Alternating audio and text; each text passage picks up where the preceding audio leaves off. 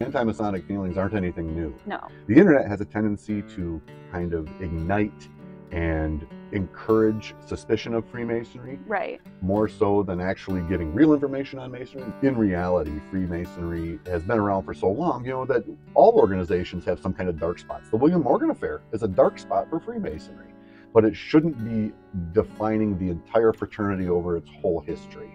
A couple of brothers from Batavia, New York, made bad decisions and did Right. a bad thing. You can see how that would happen even today, where like you're part of a group, the group is getting seen poorly, you try to do something to silence the negative voices, and it just goes the completely wrong way after that. Yep. Hindsight being 2020, like they should have just let him go through the legal process or whatever. Yeah. But at the time they were like, let's just tell this guy to never come back.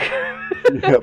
Just go back to where that would be so from. much easier for us to just go back. That's one of the biggest challenges to the whole character building strategies that we present is when we fail to use them. And it's a challenge. But it's a challenge every day. And hopefully the structure of our ritual and symbolic teachings um, helps us with that when we find a challenge. Right. But people are always going to be people, and people are flawed, and people make mistakes. I am, I don't. Sure, you do.